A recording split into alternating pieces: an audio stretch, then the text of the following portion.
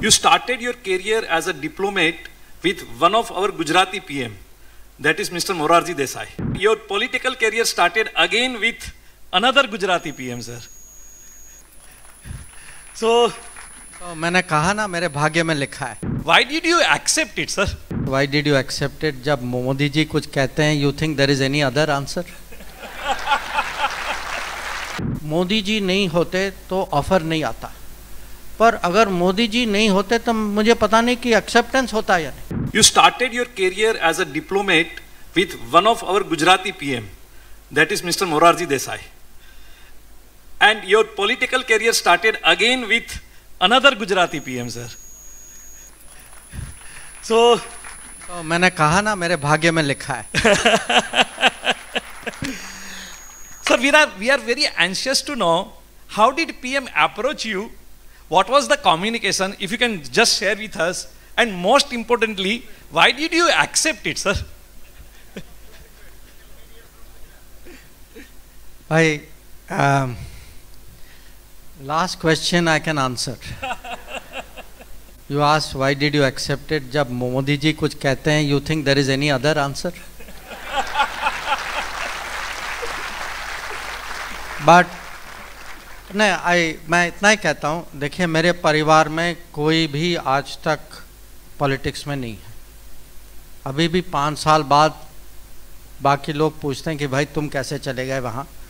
और थोड़ा माने उनके यहाँ थोड़ा कुछ आश्चर्य है थोड़ा इसके बारे में कुछ घर में भी कभी कभी चर्चा होती है। अ, मैं जो है पहली बार मेरा उनके साथ मोदी जी के साथ डीलिंग जो है मैं चीन में राजदूत था।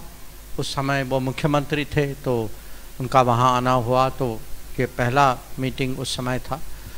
उसके बाद जब तक वो प्रधानमंत्री बने मैं कभी उनके बाद उसके कहीं मीटिंग नहीं हुई थी।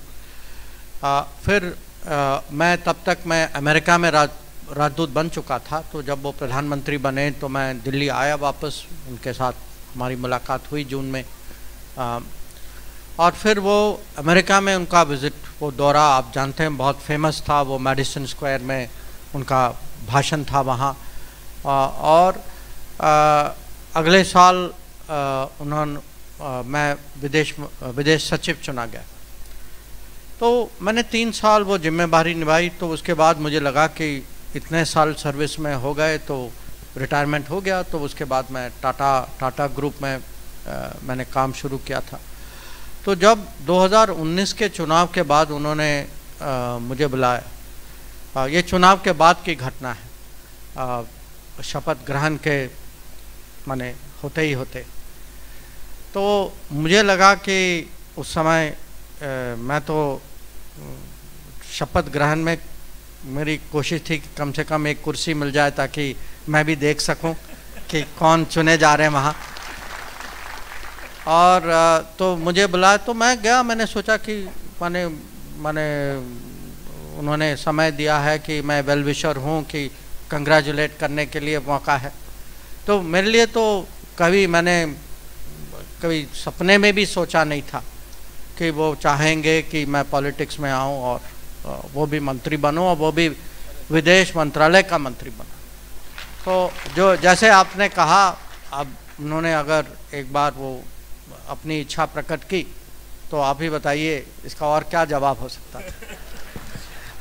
Mere acceptance mere acceptance thank you not mere acceptance see वो फीलिंग वाज आल्सो देयर कि frankly I I tell people sometimes people ask me कि आपने इतने सारे मंत्रियाँ देखे होंगे तो what is the difference etcetera also feeling look I say अगर मोदी जी नहीं होते तो ऑफ़र नहीं आता।